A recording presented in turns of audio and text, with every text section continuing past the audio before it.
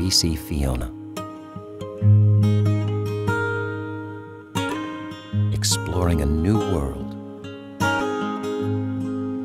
filled with books and art and science.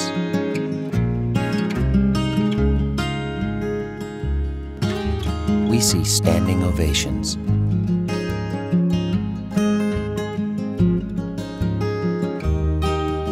Records beat. We see her graduating at the head of her class.